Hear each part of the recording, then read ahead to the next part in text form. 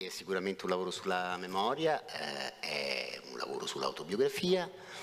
Credo che sia importante cominciare dicendo che il personaggio eh, di Adriana è nessuno, che sono io accanto a Penelope. E mm, sì, è ispirato alla mia infanzia, alla mia storia e chiaramente trasfigurata. Quindi ho cercato di trovare una chiave che potesse ehm, non essere mh, mm, autoreferenziale e quindi parlare soltanto di me, ma di, ho cercato di, come ho, fatto, ho cercato di fare in ogni film, ehm, di rappresentare in chiave un po' più universale dei temi che mi stanno molto a cuore, eh, quale per esempio appunto la migrazione, io arrivo da lì, la migrazione di un'anima che può essere anche una transizione, cioè il movimento che facciamo da uno Stato all'altro e, e, quel movimento per me è un movimento molto importante, che, che, è un movimento che facciamo tutti e quindi sono temi a me molto cari e in questo film li ho ripresi. I think she's not crazy at all. Uh, she has a, enough amount of craziness in her to survive Credo che il mio personaggio non sia affatto il personaggio di una donna pazza. In lei c'è sufficiente follia per poter sopravvivere la vita in cui si ritrova, la follia che le consente anche di stabilire una relazione con la figlia. Lei si sente intrappolata nella famiglia, nella casa, nel suo corpo, nella situazione in cui si trova a vivere. Non ha un piano B, non ha un piano di fuga. L'unica fuga che ha è attraverso lo schermo televisivo che la ricollega a un altro mondo, al mondo dell'arte, della musica, eh, della danza, del sogno, qualcosa che più vicino alle persone di cui sogna. Se lei potesse vivere la vita che appunto vorrebbe, se la società glielo consentisse, e una vita che forse la porterebbe anche a essere diversa da com'è, non è affatto pazza, anzi è oppressa da tantissimi punti di vista e semplicemente non ne può più perché sente di dover quasi fingere ogni giorno davanti ai figli e non ce la fa più. Ecco perché questo la fa piombare in una profonda depressione, deve andare in una clinica, deve separarsi da loro per fare qualcosa e c'è una scena davvero strappalacrime perché rappresenta così tante realtà di oggi. Ci sono tantissime donne in tutto il mondo che sono intrappolate nelle loro case, che fingono di fronte ai loro figli per mostrare che le cose non vanno poi così male e lo fanno per sopravvivere. Conosco situazioni di questo tipo, sono storie terribili. Eh, questo è solo uno dei tanti temi importanti affrontati dal film, quindi anche quello della violenza tra le mura di casa e ne parla in un modo che davvero mi ha spezzato il cuore quando ho letto la sceneggiatura.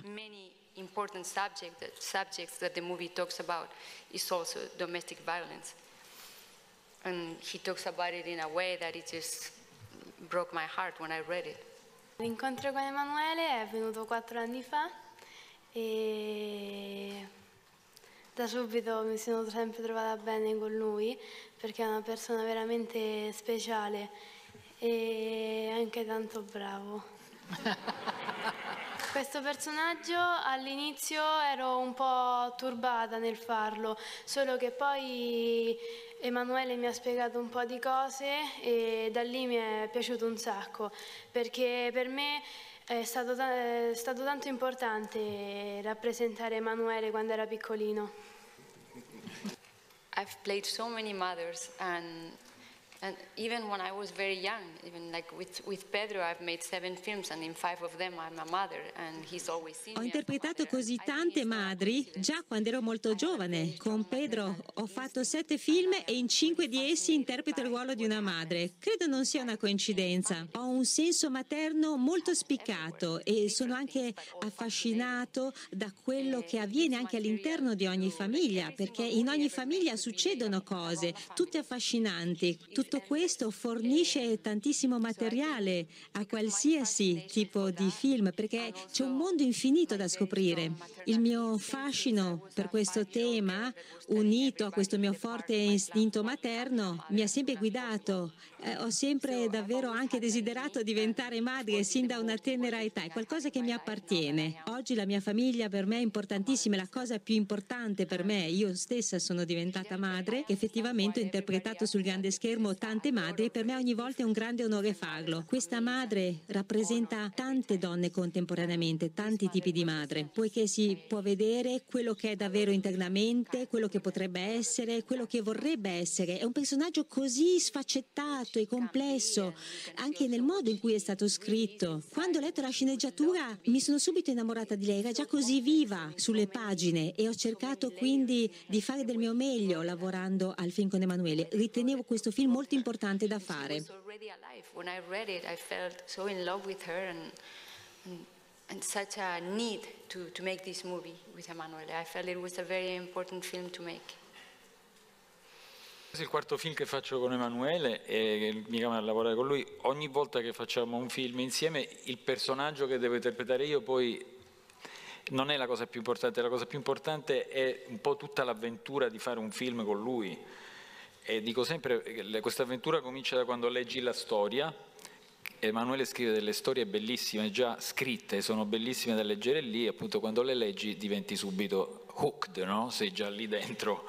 E poi comincia un lungo processo che è bellissimo che eh, non succede sempre nel cinema Emanuele eh, eh, comincia il film mesi, mesi, mesi prima e si entra dentro questa specie di space, di, di, di nave spaziale e si comincia a viaggiare e poi si fanno le prove, si fanno i viaggi per conoscere lei e poi si prova e poi si parla, si mangia, si fanno un sacco di cose insieme cioè il lavoro è lunghissimo e poi si, dopo le prove si comincia a girare lì un'altra parte di quel lavoro. Io semplicemente devo fare un personaggio in queste avventure e certe volte è più facile, certe volte è più difficile. Devo dire, è sempre difficile perché lo voglio fare benissimo per lui, però lui è bravissimo a dirigere tutti lui è proprio bravo a dirigere, quindi mi fido di lui e cerco di non deluderlo e, ed è difficile. Poi io non sono molto vicino come persona a questo personaggio, ma non importa, non sono vicino a nessuno dei personaggi che ho fatto con lui, tranne forse il primo,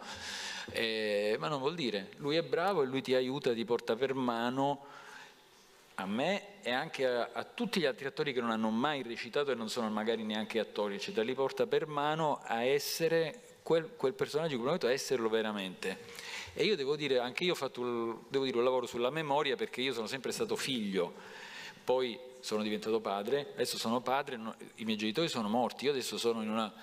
ho dovuto fare un viaggio indietro quando ero figlio e però facendo il padre. Questa è stata una cosa bellissima, anche se il personaggio era brutto, però per me era un viaggio, era un viaggio pazzesco nella mente di, questo, di mio papà, però anche se mio papà non era così ed è stata una bellissima, una bellissima avventura come sempre con Emanuele.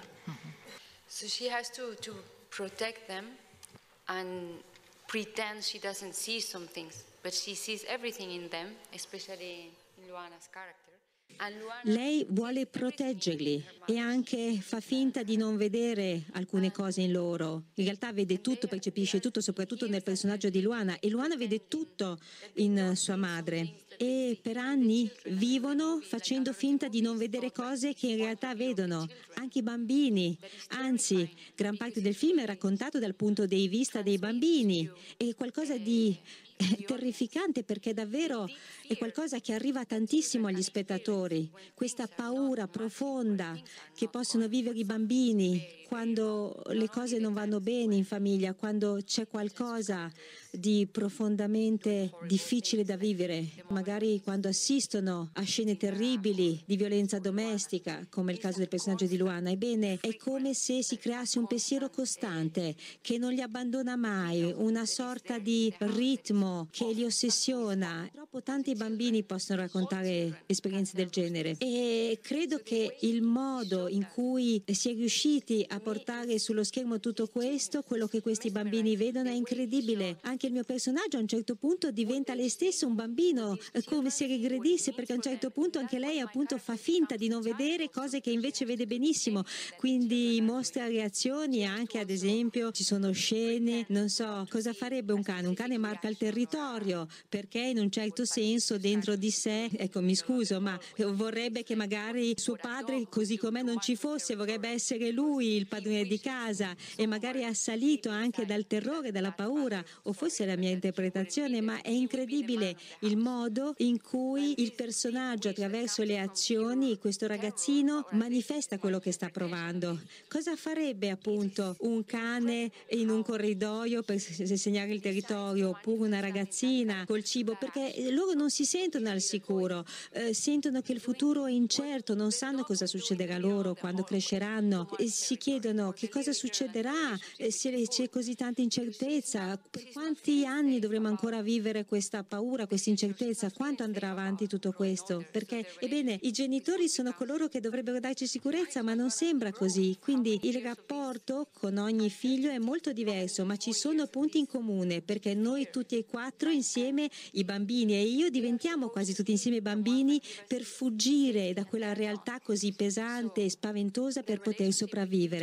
E ci sono tantissime cose anche che non vengono dette esplicitamente. E anche tra di noi durante le prove ci sono punti che non sono mai stati, diciamo, spiegati. Ebbene, Emanuele magari vi ha parlato di altre cose che non sono nella sceneggiatura, che non riguardano la sua vita, anzi ci ha chiesto di attingere alle nostre vite. E lui riesce sempre a farlo al momento giusto, poco prima di una certa scena, una scena e magari ti dice una cosa che pensi non c'entri nulla, ma poi dopo tre appunto ripresi dici ah è per quello che mi ha detto questa cosa, oppure non so, io gli ho raccontato dei ricordi anche della mia vita e lui davvero è intelligentissimo e lui non manipola le persone, assolutamente no, anzi trovo che sia davvero fantastico nel modo in cui si relaziona anche con i bambini perché è molto protettivo nei loro confronti ogni secondo, ogni momento. Io ho cercato di trascorrere anche del tempo con i miei figli sullo schermo per sviluppare un rapporto anche che fosse poi il più verosimile possibile nel film. Quindi rispetto già Emanuele per tantissimi motivi e fra questi anche il modo in cui riesce a prendersi cura dei bambini sul set in ogni momento. Questo è molto importante quando dei bambini recitano. So I respect him for many reasons, but one, one of them is the way he has taken care of these children every single moment on the set. This is very important when we have children making movies.